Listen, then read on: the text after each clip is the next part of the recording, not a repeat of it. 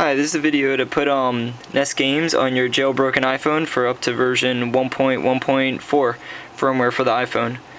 Uh, a lot of you have probably been looking on YouTube and you've seen this video to add a source uh, for MarkMon and uh, I've tried that and I guess that source is just outdated so it doesn't work anymore. So this is just another source on how you put it on the same way as you would have for the MarkMon.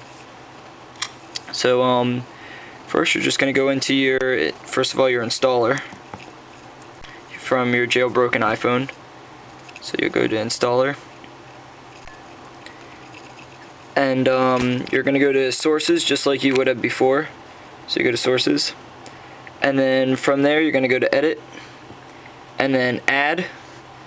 And then right there, you're going to put in this new, this new website, which is, here, it's right here actually, it's http colon backslash backslash backslash s dot a p f e l p h o n e dot net. So you're just gonna put that into the source page. So a or whoops s and that a is gonna come up. So just get rid of that. Dot a p f e l phone.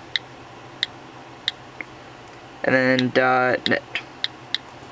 So once you put in that, you would say okay and it would refresh the sources and it's going to um, I guess refresh and verify the source just like it would have before. So I've already done it. So and then but once you get there this source right there it's gonna come up. It's gonna be it's gonna be AP APFEL phone.net so you'll go back and now that it's installed, you're going to go back to your install button and you're going to see a whole new folder that shows up as fun.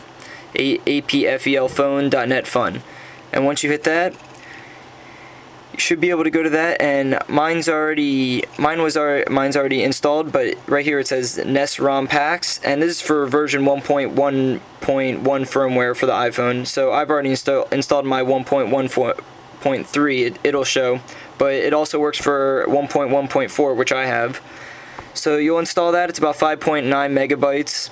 So depending on your internet it'll install. And then you're gonna get some weird I guess some weird language. I, I don't know if it's Austrian or whatever language it is once it installs but um it seemed to work okay once you just press o once you just keep going through it and press OK.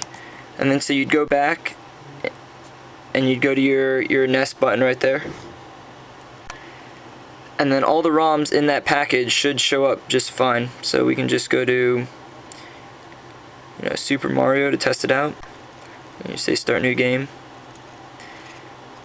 And this should it should work fine. And it does have sound so everything works out. Um, and that's pretty much it. So this is the most recent up-to-date on how to put ROMs without a computer on your iPhone iPhone. And uh, go Gators